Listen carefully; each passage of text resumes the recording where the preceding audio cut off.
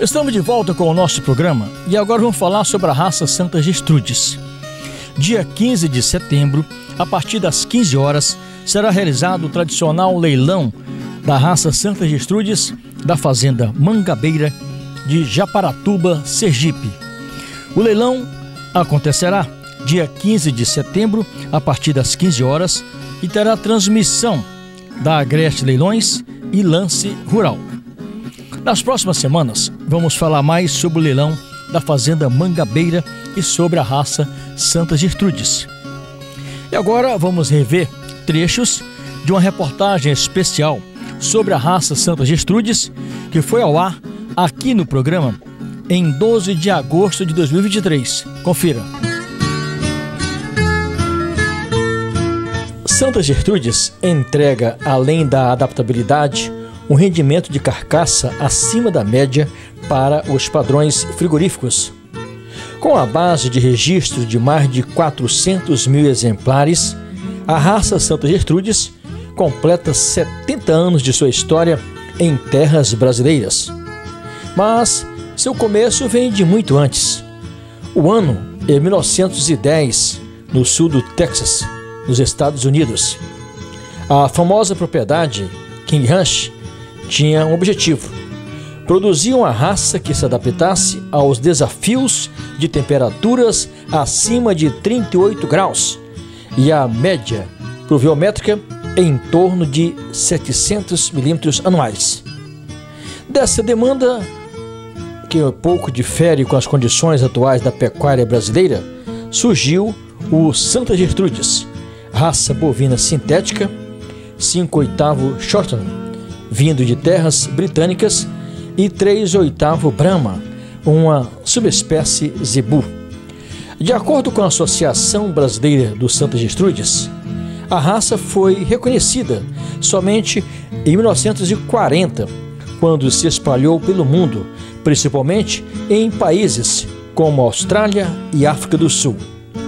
No Brasil, os primeiros exemplares chegaram em 1953, sendo utilizado principalmente nas regiões Sudeste, Centro-Oeste, Norte e Nordeste, no cruzamento sobre matrizes azeboadas ou ainda sobre matrizes F1, zebu versus europeu, obtendo os animais chamados tricós, com alto rendimento de carcaça.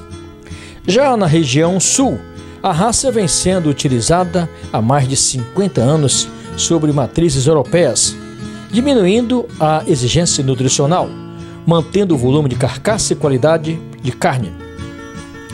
Por ser criada em condições muito extremas, a adaptação do Santos Estrudes foi o que mais chamou a atenção para a pecuária brasileira.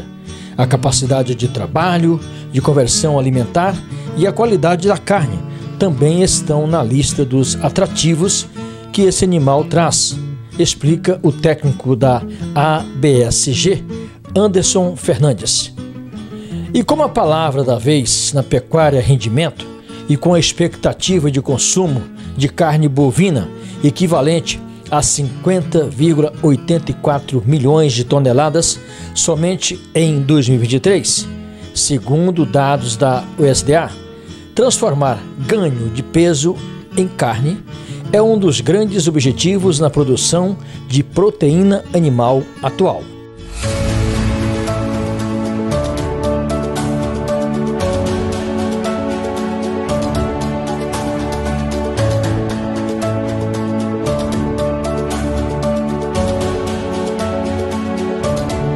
cruzamento industrial com a raça Santa Gertrudes é muito bom, porque os touros Santa Gertrudes eles cruzam bem a campo, são touros que têm alto libido e lhe dá uma alta taxa de prenhez.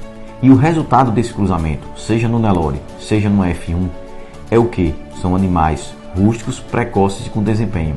Temos casos de animais com 15 meses e meio, 20 arrobas e 58% de rendimento de carcaça, dando ao nosso cliente um lucro superior na pecuária de ciclo curto.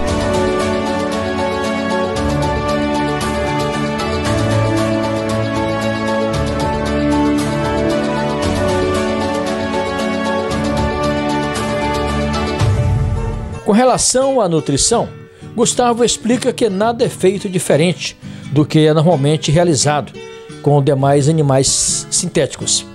A raça exige tanto quanto qualquer outra. A nutrição do rebanho deve ser realizada de acordo com cada sistema produtivo, aponta.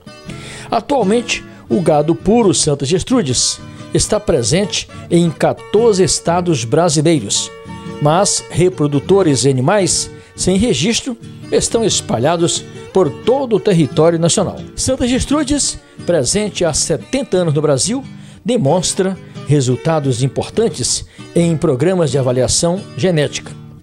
Desde 1995, a raça Santa Gertrudes participa de programas de melhoramento genético e atualmente, em parceria com a Embrapa GenePlus, mais de 30 mil animais compõem o sumário da raça. Na última edição do sumário, índices como área de olho de lombo, marmoreio e conformação frigorífica foram incluídos para avaliação, um grande avanço para o desenvolvimento genético da raça. Existe uma proposta clara para o uso do Santa Gertrudes no sistema de produção de carne no Brasil. Essa proposta consiste no uso dessa raça no formato de cruzamento industrial para produção a campo, agregando em produtividade e qualidade de carne em relação à base de matrizes zebuínas ou cruzadas. Uma vez que a raça entrega o que promete, é o mercado que acaba reconhecendo que o Santa Gertrudes oferece uma boa opção para o pecuarista que quer ser mais eficiente, e isso faz com que a raça se consolide, porque há um mercado consumidor para essa genética, explica o pesquisador do Gene Plus, Mauri Dorta. Na última edição do sumário, um dos destaques para as fêmeas foi o índice de idade ao primeiro parto, que indicam o potencial do animal para produzir filhas cujo primeiro parto seja mais ou menos precoce. O técnico da Associação Brasileira do Santa Gertrudes, Anderson Fernandes, explica que no caso da idade ao primeiro parto, quanto mais negativa for a DEP, melhor.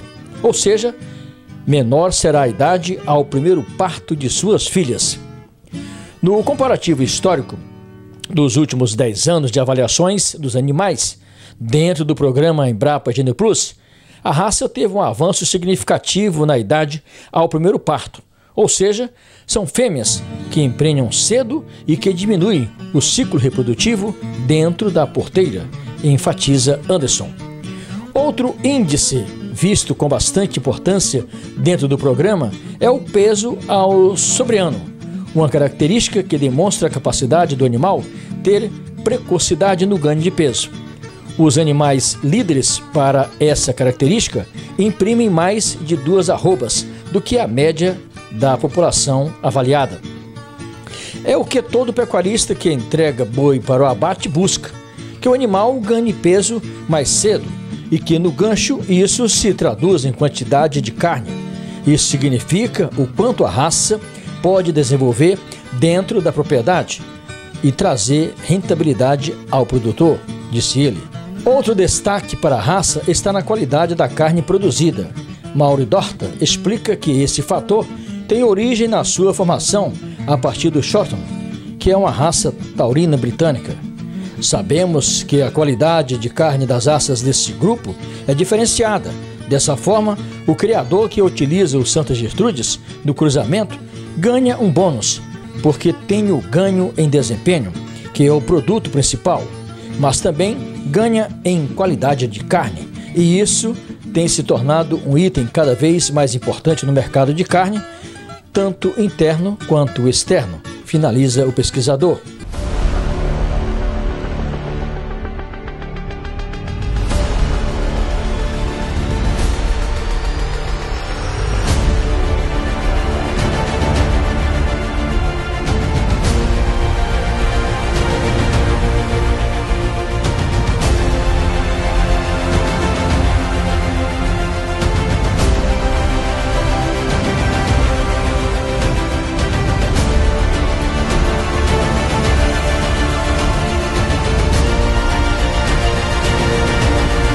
Nas próximas semanas, vamos falar mais sobre a raça Santa Gestrudes.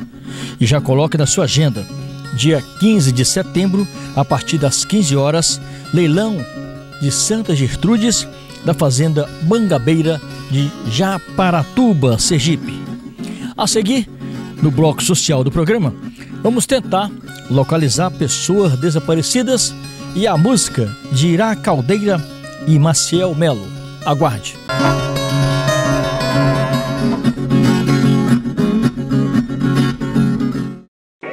Governo do Pará está premiando os estudantes com melhor desempenho e maior frequência nas escolas estaduais. É o programa Bora Estudar, que vai selecionar estudantes de 19 mil turmas. Eles vão receber cheques de 10 mil reais para ampliar ou reformar suas casas. Se você concluiu o ensino médio e tirou nota igual ou superior a 900 na redação do Enem 2023, compareça à sua escola com o comprovante. Com Bora Estudar é assim. Quando o filho vai bem na escola, toda a família ganha. Governo do Pará. Por todo o Pará.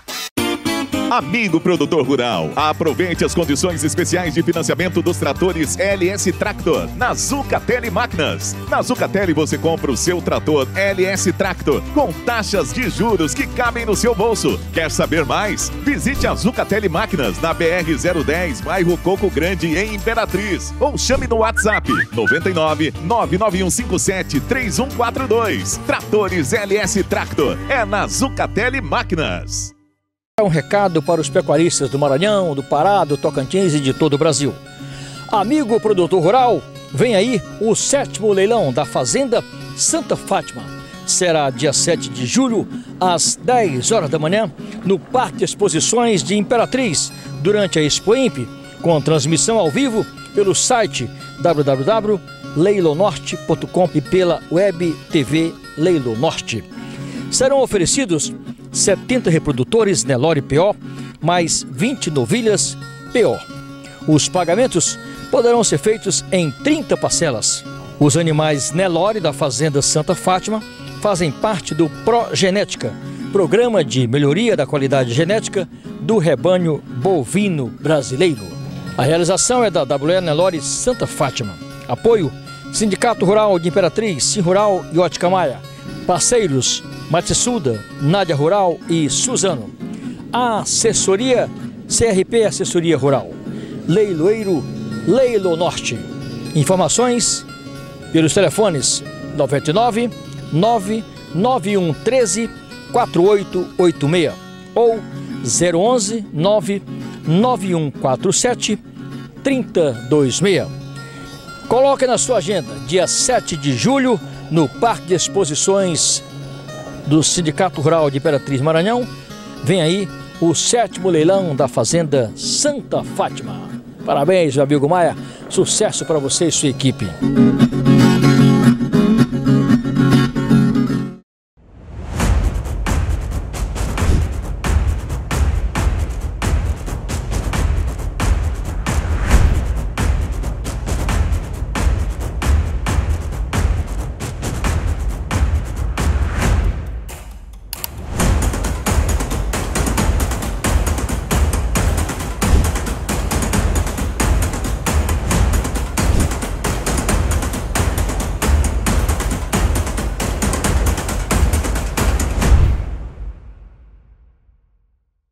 Neste Junho Verde, o governo do Pará celebra grandes conquistas. Estamos avançando na defesa da floresta viva, recuperando como nunca as vegetações nativas, acelerando a transição para a bioeconomia, garantindo direitos para quem produz. Perto da COP30 em Belém, o Pará se fortalece no debate sobre clima e meio ambiente. É importante que todos abracem essa causa. Junho Verde. Defender a floresta é proteger o futuro.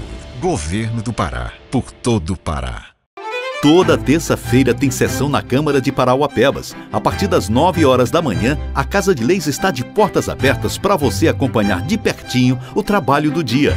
E a gente transmite as sessões ao vivo. Para assistir pelo YouTube, basta buscar pelo canal Câmara de Parauapebas ou sintonize 95.7 FM e ouça tudo pela Rádio Câmara de onde você estiver. Câmara Municipal de Parauapebas. A casa é sua. Foi com uma imensa satisfação que a Tecnicom Contabilidade recebeu o Prêmio Destaque Empresarial 2021 como reconhecimento de melhor escritório de contabilidade. Esse prêmio representa o esforço da nossa equipe em garantir a você que tem empresa ou é prestador de serviço, segurança e liberdade para focar no que realmente importa para o negócio, crescimento e lucros. Este prêmio é de todos que confiam no nosso trabalho. Gratidão aos profissionais da Tecnicom. Em 2022, nós estamos aqui para descomplicar seus serviços de contabilidade. Fazenda Sororó fica localizada no município de Marabá, no sudeste do estado. A empresa vem diversificando o seu rebanho ao longo dos anos e, neste sentido, formou um plantel de animais da raça giro leiteiro e, a partir desta genética, produz a melhor genética leiteira, o Girolando Zucatelli.